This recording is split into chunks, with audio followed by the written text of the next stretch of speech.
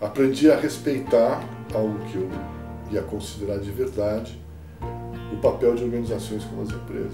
O discurso de que elas têm poder econômico, político para fazer e tal, que é uma forma de, de explicar isso, não necessariamente mostra o que é possível ser feito. Você é empresário, você é empresa, você tem poder, você tem funcionários, você tem acesso aos meios de comunicação, você tem comunicação com diversos públicos, capacidade de mobilização. Né? Quando o ethos surge, ele começa a pontuar outras questões em que você deveria, na verdade, estar atento. E que isso é, seria também muito importante para a própria empresa ou para as próprias empresas.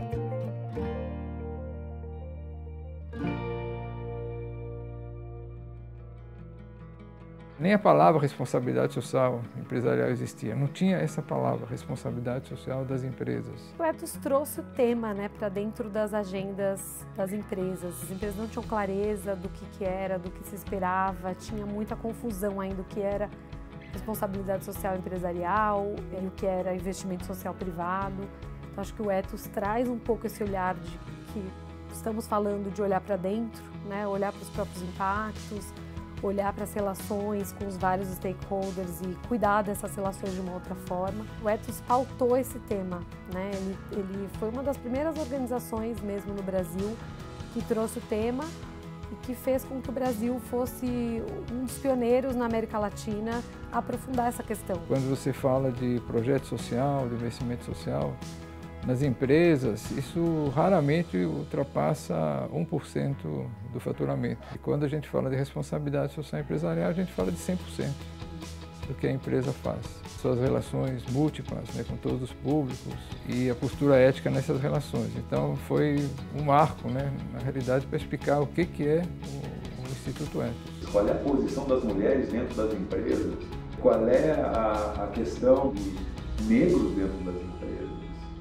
Não é? que são coisas da raiz da nossa sociedade, questões culturais que precisam ser transformadas. E ao colocar essas questões, o ESO também está trazendo uma discussão que é permanente.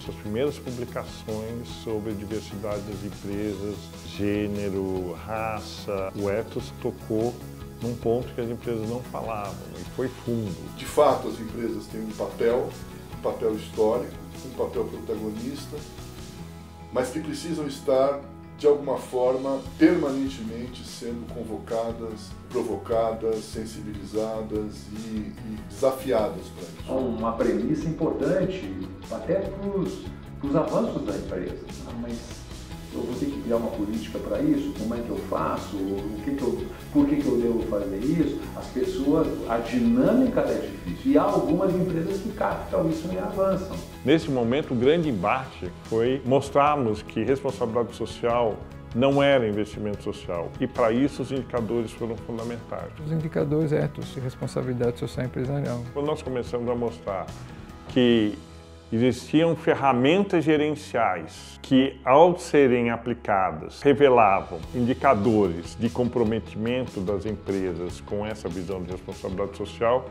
aí as empresas começaram a levar o ethos a sério. Os indicadores é a hora da verdade, onde você checa no concreto as intenções, as ideias, posturas, se assemelha muito à questão da saúde, né? Quando você vai no médico para saber como é que você está, ele seleciona os indicadores que ele acha que são indicadores que refletem a, a saúde da pessoa e manda ver como é que está, para depois tratar.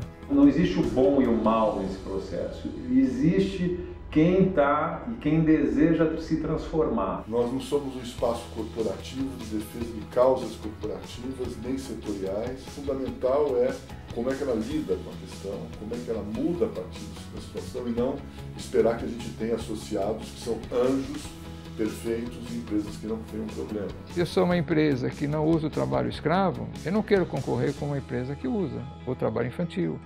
Se sou uma empresa que não suborno funcionários públicos para ganhar uma concorrência, eu não quero ter como concorrente alguém que vai suborna e ganha aquela concorrência porque subornou o agente público. Né? Quando o Eto tem na missão dele que as empresas têm que ser parceiras na construção de uma sociedade justa e sustentável, É, isso não é uma questão ingênua, isso é uma questão que, é, se a gente chegar nessa sociedade, as empresas também vão ter um outro papel, elas vão ter outros mercados, elas vão ter outras condições de avançar. Temos hoje vários exemplos de empresas que mudaram de postura, implementaram programas, ações, introduziram na gestão responsabilidade social empresarial, levaram a sério. A partir daí, as empresas não são mais as mesmas, pelo menos as que começaram a gravitar na órbita do ethos. O ethos trouxe uma, é, uma visão, uma possibilidade das empresas terem um olhar sobre o que, que é um país